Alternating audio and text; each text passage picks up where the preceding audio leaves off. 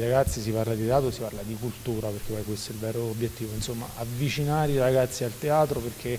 insomma, sono loro il pubblico di oggi ma soprattutto del futuro. Assolutamente sì, infatti l'iniziativa è Giovani a Teatro, questa mattina c'è eh, uno spettacolo per i ragazzi dove tocchiamo Dante, Pirandello, eh, insomma tutti gli autori importanti che loro studiano, Pascoli, eccetera. Ringrazio ovviamente, io ho fatto questa operazione per le scuole, ringrazio chi già da anni eh, lavora per le scuole sul territorio come l'Eidos, Mimo Soricelli, eccetera, come Red Roger, Pierpaolo Palma, eccetera, quindi io ringrazio loro per la loro disponibilità e per aver accettato il mio invito a, a fare questo spettacolo per incominciare un discorso con i ragazzi. La novità è che abbiamo voluto eh, fare, ehm, dare l'opportunità ai ragazzi fino a 18 anni di venire a teatro pagando solo 5 euro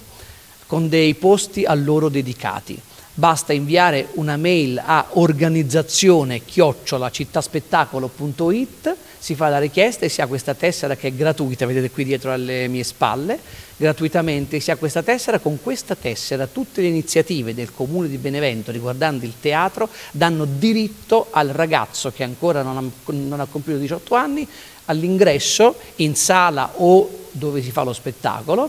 eh, con soli 5 euro. Questa cosa è valida da subito ed è valida per Città Spettacolo e per tutto quello che il Comune organizza. Anzi faccio appello alle altre organizzazioni che volessero anche loro avvicinare eh, i ragazzi al teatro, di sposare l'iniziativa anche loro con la tessera Amico del Teatro. Direttore, eh, guardando avanti alla Fondazione Città Spettacolo, ne parlavamo prima, eh, potrebbe essere questo il primo step poi di uno successivo, magari di creare proprio sa, una compagnia di ragazzi legata a Città Spettacolo per avvicinarli ulteriormente, cioè non solo spettatori ma anche attori? Magari l'idea della Fondazione potrebbe essere proprio quella di accedere a dei fondi eh, più importanti, anche magari nazionali, creando una compagnia di giovani, eh, ovviamente eh, coadiuvata da professionisti che, insomma, che, sanno distribuire, che sanno vendere gli spettacoli, che sanno far circuitare, perché il teatro è, lega è legato assolutamente anche alla circuitazione e a tutto quello che ne comporta. Ovviamente la domanda te la faccio, già so che riceverò un no comment no, città spettacolo l'anno prossimo, se hai già al lavoro, che cosa c'è in cantiere, dacci qualche chicca dai. No, ci sto lavorando ma sarà un festival eh, particolare anche quest'anno, eh, ricordo a tutti che l'anno scorso per la prima volta sul palcoscenico a Benevento abbiamo messo Lazza, Gioeli e Rove, quest'anno Lazza ha fatto il boom a Sanremo. E anche due anni fa eh, Mahmood l'anno dopo fece il boom a Sanremo, quindi Città Spettacolo porta bene.